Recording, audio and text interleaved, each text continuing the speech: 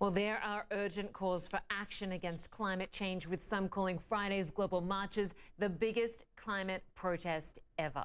Millions of people took to the streets in New York and many cities right around the world, from Johannesburg to Sydney to Seoul, all speaking up about trying to fight climate change. CNN's Bill Weir has the story. With crowds big enough to choke world capitals, We need to do this now. and more intimate protests in countless places in between. Millions rallied for Mother Nature. And against the human nature that's making her sick. It will go down as the biggest one day environmental protest in history. And leading the way, the smallest among them. I'm so amazed about how many youth came out. It's so empowering. This is the biggest climate strike ever in history, and and we will not just stand aside and watch. We are united behind the science, and we will do everything in our power to stop this crisis from getting worse. It was about a year ago when Swedish teen Greta Thunberg turned her depression over the climate crisis into action, striking from school and shaming every grown up who would listen. And I think many of you here today belong to that group of people. It was lonely at first, but not anymore. Seeing her had really empowered me and made me know what I had to do to fight the climate crisis. I am from Sweden. The teen activists were on Capitol Hill this week, at times arguing with Republican congressmen. That is shameful and that is cowardly. And there is no excuse to not take action. And it only fired you up more. It feels like it fueled more of this. It did. It did fuel up more of this, and I saw like after the testimony, you know, I got so much amazing responses on social media, and like more people turned out to the strike because of it. Um, they were telling me like, you know, I saw your testimony, and now I'm going to come to strike. So it's really amazing to be able to turn uh, to be able to turn a situation of of frustration into one of hope and action. But the day drew more than just children. Will? This is Jilly. This is Katerina.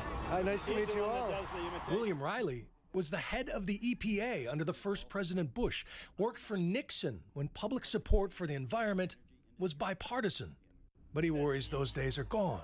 The prospect that it's already too late to avoid a two to three percent centigrade increase is undeniable. I think that's going to happen. There's no debating it was big. But when it comes to changing laws and human habits, was it big enough? The young organizers would say it is way too early to tell. We are not just some young people skipping school or some adults who are not going to work. We are a wave of change. They vow that this is just the beginning. Bill Weir, CNN New York. Well, activists are keeping the focus on climate change into the weekend and beyond. Saturday, people across the world are observing the annual International Day of Peace. And this year's theme is Climate Action for Peace.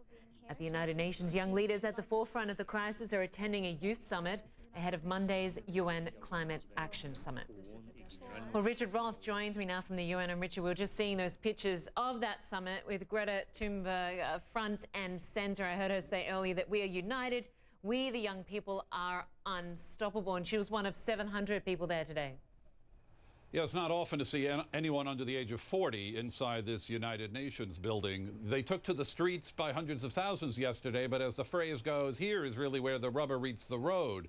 And while those activists were in that conference room you just saw, led by Greta Thunberg as one of the participants, you don't see national leaders today, at least, inside the chamber listening. Uh, almost everybody else was on the same path uh, including Greta, the 16 year old Swedish teen who has taken the world and this issue by storm, something the climate change uh, movement really needed, at least some face to go with it. Uh, Thunberg, uh, you remember, sailed across the Atlantic on a zero emissions boat, though she'll probably have to fly around the world to continue to press the case. The youngsters here want accountability and put the pressure on governments. One 19 year old climate activist from Argentina laid down a stark threat. Facing an existential emergency, and our world leaders have the obligation to make radical change. But change rarely takes place from the top down.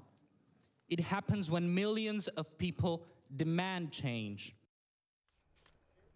One of the older people in the room, I don't think he'd mind me saying that, uh, Secretary General Antonio Guterres, who has been fighting very fiercely on behalf of the climate change issue since he took office. Uh, he told the room that he was very discouraged on the issue two years ago, and now he's feeling better. He's got five or so grandchildren. Uh, he knows the way things are running, and he says he's challenging the governments. In fact, Lynda, he has told world leaders who will speak on climate on Monday keep the speeches to three minutes, and you better say something with concrete actions, not just uh, boring speeches. Lynda. Oh, that, that is key, really, here, isn't it? To have some sort of concrete action from these incredible marches, inspiring young people. And of course, it comes at a time when here in the US, there's a president who, who is a climate change skeptic.